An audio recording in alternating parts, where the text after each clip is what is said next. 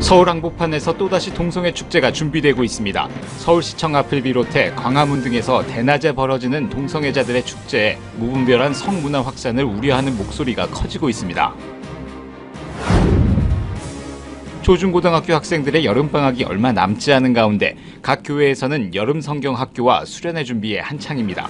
올 여름 안전한 여름 행사를 위한 방법에 대해 알아봤습니다. 질 좋고 아기자기한 디자인으로 수세미를 만들어 전도하는 교회가 있습니다. 수세미를 만드는 과정에서 교인이 하나 되고 전도를 통해 부흥하는 효과까지 일석이조의 전도 현장을 취재했습니다. 오늘 종교개혁 500주년 특별기획 시간에는 중세 카톨릭의 면제부 판매에 대해 알아봅니다. 루터는 구원은 돈으로 살 수 있는 것이 아니라 회개를 통해 얻을 수 있는 것이라고 주장하며 종교개혁을 완성시켜 갔습니다. 오직 복음, 오직 믿음. CTS